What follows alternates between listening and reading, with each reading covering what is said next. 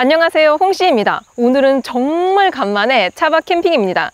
여름에는 더위 때문에 캠핑 가는 게 정말 쉽지는 않은데요. 캠핑용 에어컨을 틀자니 전력 제한 때문에 용량이 작고요. 또 용량이 작다 보니까 막상 틀어도 시원하지도 않습니다. 그래서 다들 더위 대책에 머리가 아프실 것 같습니다. 그래서 오늘은 전기차로 캠핑장에서 더위를 탈출하는 법에 대해서 알려드리겠습니다 자 드디어 캠핑장에 도착을 했습니다. 제가 예약한 사이트는 가장 안쪽에 위치해 있어서 논두렁길을 지나서 있는 데크인데요. 오프로드까진 아니지만 살짝 찍먹 정도 해보도록 해보겠습니다 지금 보시는 이렇게 언덕까지도 같이 있습니다. 일단 코나 일렉트릭은 배터리 용량에 따라서 스탠다드와 long range 이렇게 두 가지로 구성이 되는데요. 현재 시승 중인 차량은 long range Inspiration trim입니다. 출력과 주행거리에 있어서 차이가 조금 있긴 하지만 구동 방식은 둘 다 전륜구동 단일입니다. 그래서 그런지 지금 이렇게 언덕을 오르고 있는데요. 어, 뭔가 이게 구동력이 약한 것 같으면서도 비교적 안정적으로 올라가주고 있습니다. 이 진행 방향으로 앞에서부터 밀어주고 있기 때문에 사실 이 정도는 문제 없는 것 같아요. 자, 그리고 이제부터는 비포장 도로입니다. 노면이 좀 이렇게 굴곡진 그런 구간이기 때문에 어휴, 지금처럼 이렇게 차가 좀 많이 흔들리기는 합니다. 어, 근데 뭐 요 정도의 험로 같은 경우는 그냥 전륜구동 단일 방식이긴 하지만 문제없이 가지고 있다라는 느낌이 큽니다. 어, 그리고 현재 지금 19인치 휠이 껴져 있거든요. 그래서 그런지 뭔가 이 노면 충격 감쇄 같은 경우는 약간 와일드하게 느껴집니다. 그리고 마침 또 앞에 물 웅덩이가 있는 구간을 지나보도록 해보겠습니다. 오, 이건 진짜 오프로드 같은데요. 멈추지 않고 그대로 진행을 해서 그런지 무리 없이 잘 탈출을 했습니다. AWD가 없기는 하지만 이 정도의 험지는 그래도 충분하게 갈 수 있는 것 같습니다. 이제부터는 풀밭길입니다. 마침 또 어제 비가 많이 와서 그런지 길이 좀 많이 젖어 있는 상태인데요. 풀밭은 일반 도로보다 미끄러질 확률이 굉장히 크죠. 이럴 때 바로 snow mode를 써주면 될 것 같습니다. 지금 drive mode를 snow mode로 바꾼 상태이고요. 이게 전기차같이 토크가 센 차들은 바퀴가 헛돌 때 초반 토크를 떨어뜨려서 이 험로를 탈출할 수 있도록 해주는 기능인데요. snow mode로 바꾸고 풀밭길을 가보도록 해보겠습니다. 어, 제가 예전에 이 구간에서 차가 미끄러진 적이 있었거든요. 어, 풀이 많아서 지금 이렇게 띡띡띡 소리가 나고 있습니다. 오, 근데 이 snow mode로 가니까 바퀴가 헛돌지도 않고 뭔가 사륜구동을 탄 차처럼 굉장히 안정적으로 구동력에 이게 배분이 되면서 잘 가주고 있는데요. 오, 야, 이런 지형에서는 snow mode가 또 빛을 발휘하는 것 같습니다. 이게 살짝 언덕이 있는 구간이라서 걱정이 됐었는데 오, 문제 없네요. 자, 이제부터 캠핑 준비를 해보겠습니다. 자, 먼저 트렁크부터 열어보면은 당연히 전동 트렁크 들어가 있고요. 짜라란! 제가 캠핑 가면서 평소에 쓰던 물품들을 조금 챙겨와 봤는데요. 참고로 텐트는 평소 쓰는 게 아니고 촬영용으로 원터치 텐트를 가져와 봤습니다. 오늘은 뭐 차크닉이니까 기분만 내려고요. 그리고 여기 캠핑 박스랑 타프 또 이제 여름 캠핑은 꼭 블랙 코팅이 들어간 타프 아래에서 텐트를 치셔야 좋은데요. 이것도 지금처럼 이 나무 그늘만 하진 못하니까 참고만 해두시길 바라겠고요. 그리고 여기 전자 제품들이랑 가구들 등등을 챙겨와 봤습니다. 솔직히 여름 차박은 겨울에 비해서 짐이 덜 하긴 합니다. 화롯대나 장작 같은 거를 패스하는 경우도 있고 해서요 일단 공간을 얼마나 차지하는지 보여드리려고 캠핑 박스도 번거롭지만 조금 더 들고 와봤습니다. 코나 일렉트릭의 트렁크 용량은 VDA 기준으로 466리터인데요. 구형은 322리터였으니까 좀 많이 늘어나기는 늘어났습니다. 여기 앞쪽에 프렁크까지 더해지면서 좀 더 많이 늘어났는데요. 지금 보시는 것처럼 2인 캠핑용품 기준 조금 꽉 차는 맛이 있긴 합니다. 룸미러로 이 후방 시야를 만들려면 테트리스를 잘 해서 짐을 넣어야 되고요. 참고로 현대에서 판매 중인 캠핑 트렁크가 60리터인데요. 구형 기준으로는 5개가 들어가고요. 이번 신형 기준으로는 7개가 들어갑니다. 지금 이게 깔려서 또 이제 보이진 않지만 이 트렁크 하단 보드도 2단 조절이 가능합니다. 차량용품은 여기 아래쪽에 넣어두시는 게 좋을 것 같아요. 아, 말 나온 김에 코나 EV의 캠핑 생태계를 조사해보면은 현대 genuine accessory라고 해가지고 순정 용품들을 판매를 하고 있습니다. 찾아보면은 뭐 캠핑용 트렁크나 아니면 chair, 아니면 뭐 피크닉 매트, 보냉백 등등이 있긴 한데요. 이게 제가 예전에 아이오닉 5나 아니면 캐스퍼로 차박을 갔을 때를 생각해보면 quality가 정말 좋긴 했었는데요. 근데 단점이 가격이 조금 비쌌었습니다. 그래가지고 많은 분들이 다른 전문 브랜드 거 이런 거 사용하시는 경우가 많은 것 같은데요. 맞춤형 매트나 frunk형 정리함 이런 거를 사서 쓰시면 좋을 것 같긴 합니다. 그리고 이제 내 차에 맞는 캠핑 용품을 쉽게 찾을 수 있는 꿀팁이 하나 있는데요. 바로 차량 code name으로 검색하는 방법이 있습니다.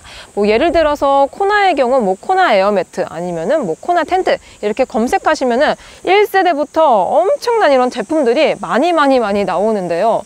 어, 이런 거를 좀 중복을 방지하고자 code name으로 정리하는 게 있습니다. 바로 2세대 코나 같은 경우는 code name이 SX2인데요. 예를 들어서 SX2 air mat, SX2 텐트 이렇게 검색하시면 조금 더 편안하게 찾으실 수 있을 것 같습니다. 그리고 신형 코나 같은 경우는 출시된 지 얼마 되지 않았기 때문에 전용 아이템들은 많지는 않아요. 그래도 뭐 트렁크 도킹 텐트 이런 것들은 있기 때문에 딱 맞는 제품은 순정용품을 사시는 게 조금 더 좋을 것 같습니다. 자, 드디어 오늘의 하이라이트 V2L 활용성을 리뷰해 보겠습니다. 먼저 코나 일렉트릭에는 utility mode라고 있는데요. 요거를 설정하게 되면 주행에 필요한 전력은 차단되고 에어컨, 히터 같은 편의 쪽에만 전력이 공급이 되면서 요거를 차박 캠핑용으로 활용하시면 좋습니다. 일단 V2L을 사용하기 전에 방전량 설정을 해야 됩니다. 최소 20%에서 최대 80%까지 설정을 할 수 있습니다. 코나 일렉트릭 long range 배터리 용량은 64.8kW니까 20% 설정 시에는 12.9kW, 80% 설정 시에는 51.8kW를 사용할 수 있다 라는 계산이 나옵니다. V2L은 외부 커넥터로도 쓸 수 있고요. 실내 커넥터로도 쓸 수 있습니다. 다만 내부 V2L은 프리미엄부터 기본이고 외부 V2L은 옵션을 추가를 하셔야 되는데요. 참고로 인스퍼레이션에서는 기본으로 적용이 됩니다. 자 오늘 여름 캠핑은 뭐다? 바로 더위와의 싸움이다. 진짜 찐 camper분들은 캠핑장용 에어컨 하나씩 사용하시는데요. 참고로 보통 캠핑장이 전력을 600W까지만 제공해서 캠핑용 에어컨이 보통 350에서 500W짜리 밖에 없습니다. 이게 실제로 사용하면 별로 안 시원하거든요. 보통 집에서 사용하는 벽걸이나 스탠드 에어컨이 2000W 정도고요. 차량용 에어컨이 1000W 정도입니다. 그러니까 거의 3분의 1이니까 여기 앞에 앞쪽에만 시원하다라고 생각을 하시면 되는데요. 그래서 저는 오늘의 주인공 바로 1,000W짜리 이동식 에어컨을 가져와봤습니다. 와! 여기에 선풍기랑 또 이제 냉장고도 당연히 쓸 거고요. V2L이기 때문에 캠핑장 와투수 걱정도 없습니다. 일단 1시간 기준으로 전력 사용량을 측정을 해볼 건데요. 지금 V2L이 연결이 되어 있는 상태고요. 먼저 냉장고부터 가동을 해보도록 해보겠습니다. 여기 안쪽에 보시면 이렇게 팬이 들어가 있어가지고 시원하게 음료수나 음식을 보관을 할 수가 있습니다. 자 그리고 오늘의 주인공 이동식 에어컨도 켜보도록 해보겠습니다. 먼저 전원을 누르고요. 바람 세기는 중간이 아닌 강, 제일 최강 강도로 해두도록 하겠습니다.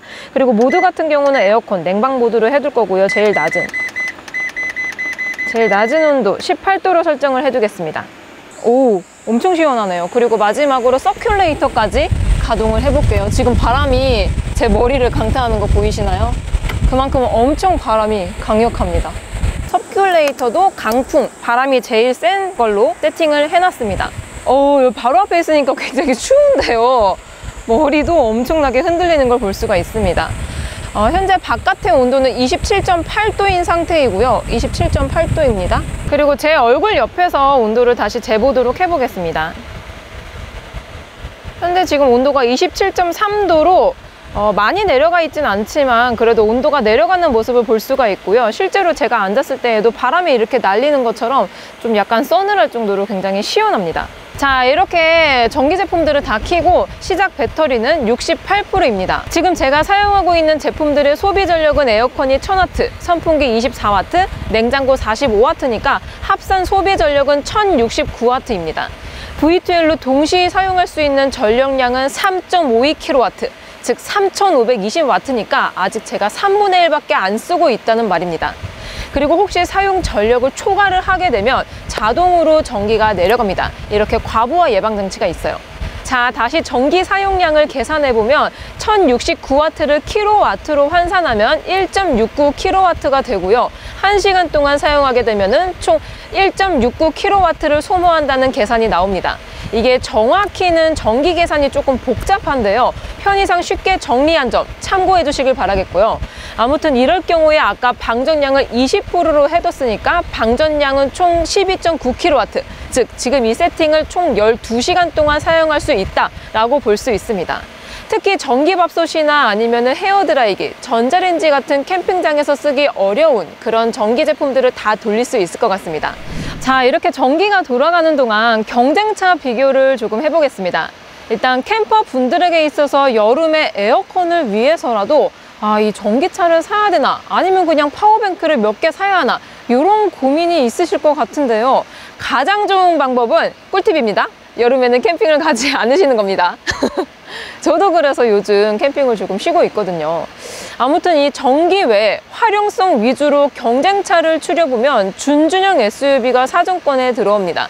투싼, 스포티지를 같이 놓고 보면 코나가 소형 SUV다 보니까 전장, 전폭, 전고, 휠베이스, 트렁크 모든 면에서 밀리기는 합니다. 대신 코나 일렉트릭은 차박을 할 때 공회전 없이 에어컨과 히터를 쓸 수 있다는 점을 감안한다면 크기 때문에 준중형 SUV를 넘어가기가 조금 망설여지는데요. powertrain 면에선 코나 일렉트릭이 204마력의 26토크로 투싼과 스포티지보다 24마력이 높고 1토크가 낮습니다. 이거는 코나가 전기차기 때문에 실제 가속감은 확실히 더 좋아요. 하지만 코나는 전륜 구동만 있고요. 투싼 스포티지는 4륜을 선택할 수 있기 때문에 노지까지 간다고 생각하시면 투싼이나 스포티지가 조금 더 유리할 것 같습니다. 그리고 가격 면에서는 보조금 포함 실구매가 기준으로 봐야 좀 비교를 할 수가 있는데요. 코나 EV 프리미엄 기준으로 투싼, 스포티지를 구성해보면 투싼은 1.6 터보 인스퍼레이션 trim에 4WD, built-in cam, 플래티넘 3, 파노라마 썬루프를 넣어서 3,781만 원에 맞출 수도 있고요. 스포티지도 1.6 터보 시그니처에 4WD, 스타일, 프리미엄, 모니터링 팩, 크렐 사운드, built-in cam, 파노라마 썬루프를 추가해서 3,862만 원에 맞출 수 있습니다. 사실상 투싼과 스포티지는 최고 trim에서도 선택 가능한 옵션을 모두 다 넣을 수 있기 때문에 옵션 면에서 코나가 밀리게 됩니다. 어, 어떻게 보면은 아예 눈을 낮춰가지고 중고차인 테라칸이나 아니면은 구형 렉스턴 같은 거에 DPF를 추가로 달아서 좀 막 굴리는 게 확실히 싸게 먹힐 수도 있겠다 싶은 생각이 듭니다. 아무튼 유지비 면에서는 코나 일렉트릭이 투싼 스포티지 대비 연 200만 원 정도는 덜 드는데요. 다만 주행거리가 적은 경우에는 차값을 상쇄하는 기간이 길어지기 때문에 연간 주행거리가 1만 킬로 이하시라면 투싼 스포티지의 power bank 용량 큰 걸로 두어 개 정도 사시는 게 좀 더 나을 것 같습니다. 그리고 방금 말씀드렸던 구형 second car도 조금 추천을 드려보면 주로 고민하시는 차종들이 레이나 싼타페 DM, 올 뉴 투싼, 쏘렌토 UM, 올란도 등이 있는데요. 공통점은 공간이 넓은 RV나 SUV 스타일의 약 천만 원대의 예산이라는 점입니다. 테라칸이나 구형 렉스턴 같이 1천만 원대 이하는 진짜 낚시카 정도라고 볼 수 있어요. 그리고 사고 유무나 DPF 추가 설치 등의 번거로움도 있으니까 가급적이면 수리하는데 무리가 없는 차종으로 살펴보시는 게 좋을 것 같습니다. 자, 이제 남은 배터리 양을 보면 은 66%입니다. 이렇게 모든 가전제품을 사용했는데도 불구하고 1시간 이전보다는 배터리 양이 줄어들긴 했지만 그래도 배터리를 얼마 사용하지 않은 것 같아서 정말 든든합니다. 그리고 마지막으로 코나 EV 관련 이슈 체크를 해보면 먼저 휠 선택권에 대한 아쉬움이 있습니다. 바로 휠이 17, 19인치 이렇게 두 가지밖에 없는데요. 시작 trim인 프리미엄은 17인치, 최고 trim인 인스퍼레이션은 19인치로 최고 trim에서 당연히 더 크고 좋은 휠을 끼워주는 게 뭔가 문제인가 싶기는 하지만 코나 일렉트릭은 전기차라는 점을 고려를 해야 됩니다. 즉 전기차로서의 휠 크기에 따른 주행거리 차이가 꽤 크기 때문인데요. 17인치의 경우 최대 417km, 19인치 휠은 368km입니다. 이 주행거리 때문에 19인치 휠 모델은 보조금도 조금의 손해가 있습니다. 이런 점들 때문에 아이오닉 5, 6, EV6 등은 18인치부터 19인치 휠을 기본으로 하고요. 20인치 휠은 옵션으로 운영을 하고 있는데요. 이런 면에서 코나 EV도 아마 연식 변경 때 휠 선택권이 생기지 않을까 싶습니다. 아무튼 오늘 영상은 여기까지고요. 저의 영상이 재밌고 도움이 많이 되셨다면 좋아요와 구독 그리고 알림 설정까지 다음 시간에 또 뵐게요. 안녕. 빵!